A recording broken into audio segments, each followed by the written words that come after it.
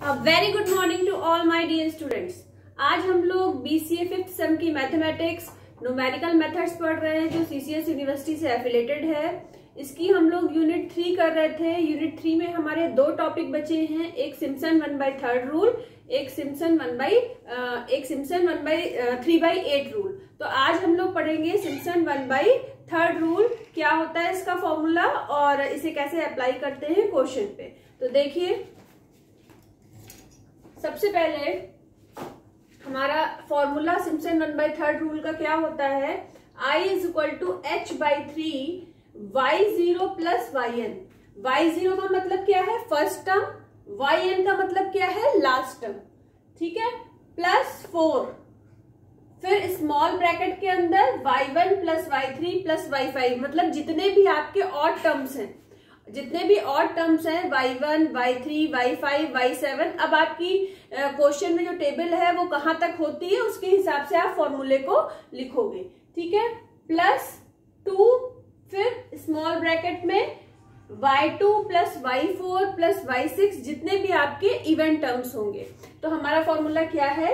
I is equal to h by three big bracket then small bracket y zero plus y one first term plus last term plus four small bracket के अंदर सारे odd terms plus two again small bracket सारे even terms then small bracket close and big bracket close ठीक है? तो देखिए हमारा question क्या है?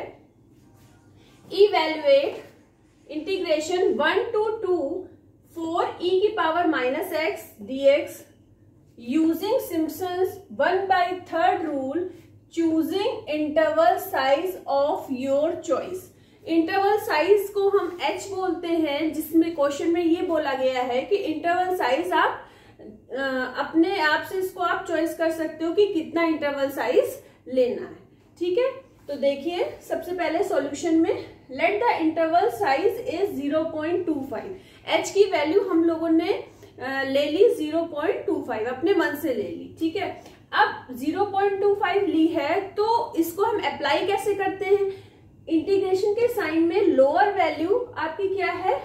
वन अपर वैल्यू क्या है? टू तो जो हमारा इंटरवल साइज़ होता है तो लोअर वैल्यू में हम 0.25 0.25 ऐड करते करते हम देखते हैं कि जो हमारी अपर वैल्यू है, वो हमको कम मिल जाएगी, ठीक है?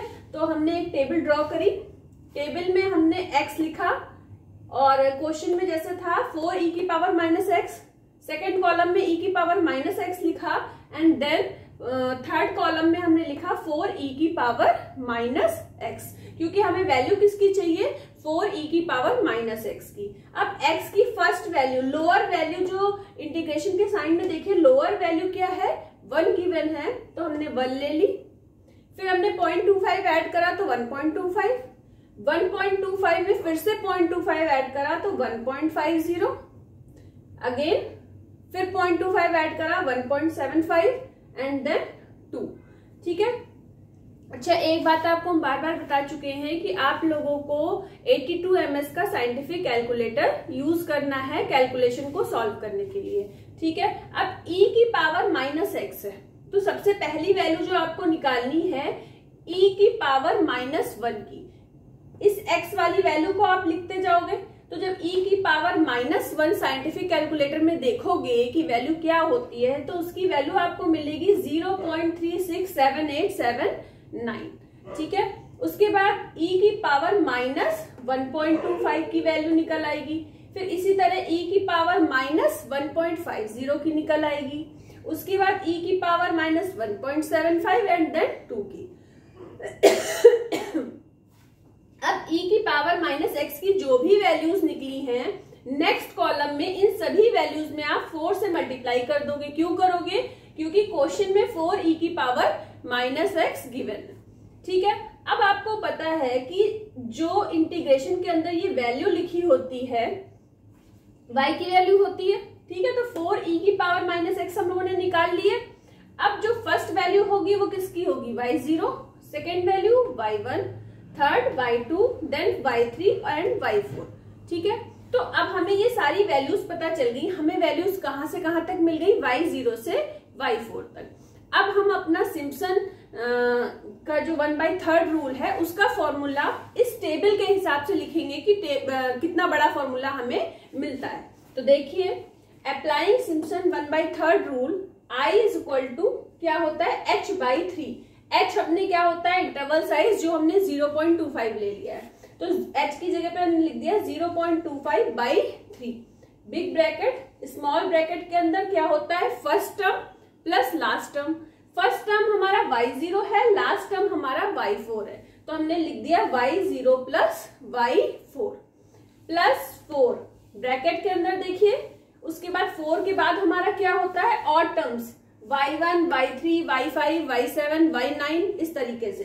तो यहाँ पे हमें और टर्म कौन कौन से मिल रहे हैं? देखिए आपका वाई ज़ीरो हो गया वाई फोर हो गया। अब और टर्म में हमारा कौन सा बचा? एक वाई वन बचा और एक वाई थ्री बचा। तो वाई वन प्लस वाई ले लिया। बाहर ब्रैकेट के बाहर फोर है ब्रैकेट में वाई वन प्लस वाई अब आपका कौन सा इवेंट टर्म बच रहा है? इवेंट टर्म में आपका केवल बच रहा है वाई टू तो हमने लिखा प्लस टू ब्रैकेट के अंदर वाई टू। ठीक है? अब आपको वाई ज़ीरो से वाई फोर तक की सारी वैल्यूज़ आपको पता है। वो सारी वैल्यूज़ जब आप पुट करोगे और उनको आपस में ऐड करोगे तो आपको मिलेगा eleven point one six two three six ठीक है? और ये तो वैल्यू है ही फिर इस वैल्यू का मल्टीप्लाई पॉइंट टू फाइव से करके थ्री से जब डिवाइड करोगे तो आपको मिल जाएगा zero point nine three zero one nine six seven ठीक है तो इस तरीके से हम लोग Simpson one by third rule करते हैं। ठीक है तो आशा करते हैं कि आप लोगों को ये वीडियो बहुत पसंद आया होगा। तो जो मेरा चैनल है tutorial classes by Garima Singh, इसको लाइक करिए सब्सक्राइब करिए और इसी तरीके से आपको इस पे लेक्चर्स आपको पढ़ने को मिलते रहेंगे और कुछ ही दिन में आपका कोर्स भी फिनिश हो जाएगा। और कोर्स फिनिश होने के बाद आपका जो इससे पहले प्रीवियस ईयर में क्वेश्चन पेपर आया था, उसको हम बोर्ड पे सॉल्व करवा देंगे। ठीक है? तो आपका कॉन्फिडेंस लेवल थोड़ा सा हाई हो जाएगा, जिससे आपके एग्ज़ाम में अच्छे नंबर आए। ठीक है? तो आज के लिए इतना ही, और हम लोग नेक्स्ट क्लास में क्या पढ़ेंगे?